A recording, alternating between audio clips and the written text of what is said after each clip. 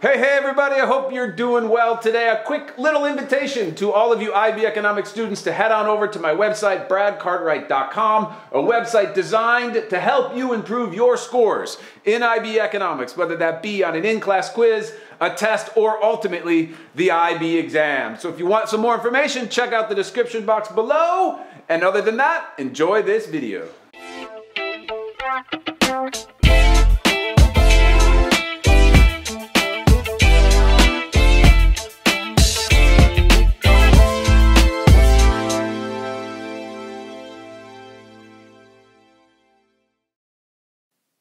All right, well, here we go. All right, let's take a look at this price ceiling diagram. And like nearly all diagrams in microeconomics, they all start at the same place, which is the basic supply and demand diagram.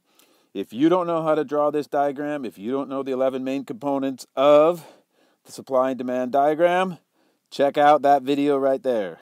How to draw the basic demand and supply diagram. I give you a secret little way of memorizing all of the components. So if you don't know that, check that video out and then come back at this one because that's how we derive this basic diagram. All right, so what do we got? We got a diagram for the market for housing.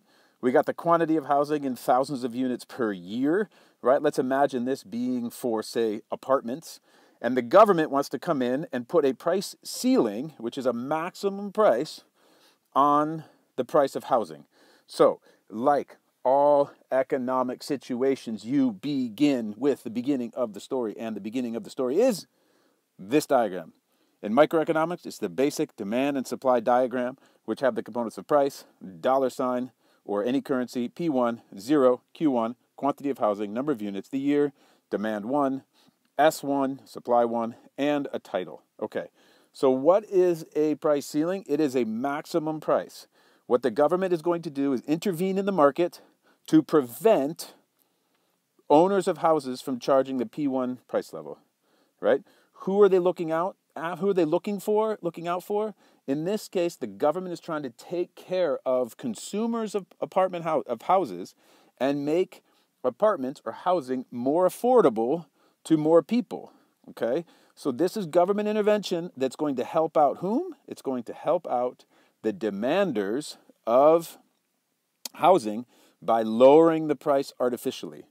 Okay, lowering the price, that's right, because a ceiling is, you got to start at the origin. A ceiling is going to prevent the price from rising up to the existing equilibrium level, which is P1. So a ceiling, a price ceiling, is drawn below the market equilibrium price. Always, always, always, always, always, always. And that's where we get our P2. And then we have two new equilibrium places or two new important spots, not two equilibrium places, two very important spots. We have created another quantity out here we're going to call Q2 and another quantity over here, which we are going to call Q3. All right.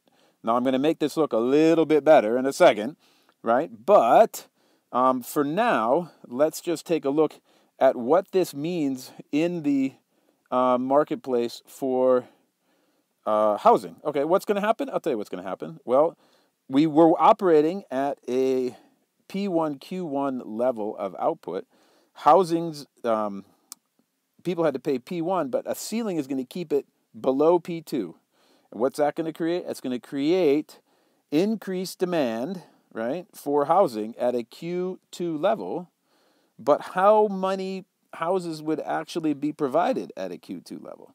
And this is where we get into the relationship between the desire of demanders and the desire of suppliers.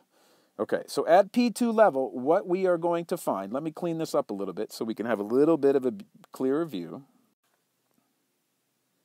is we are going to have the government trying to create a situation where housing is cheaper, but by dropping the price, setting a price at the P2 level that, that is a government issued level that the price cannot go above, they're going to create actually a shortage of housing. And the shortage of housing is seen right here in the difference between Q3 and Q2. If the price for Q2, this is how many people would love to rent a house.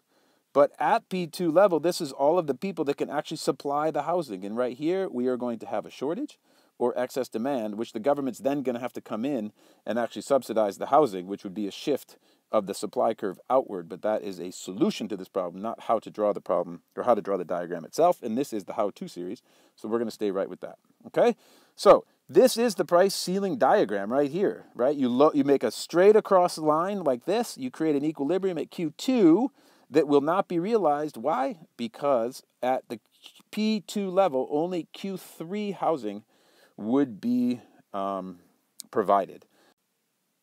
So you can see what would result, right? What's going to happen? Well, these suppliers that got cut out of the marketplace are going to respond. They're going to go to the government and say, hey, what about us? You just artificially lowered the price down to P2, and now you're going to have to solve that problem because otherwise we're upset and we're going to vote you out of office, right? And so what the government would then do is provide a subsidy to these people, right?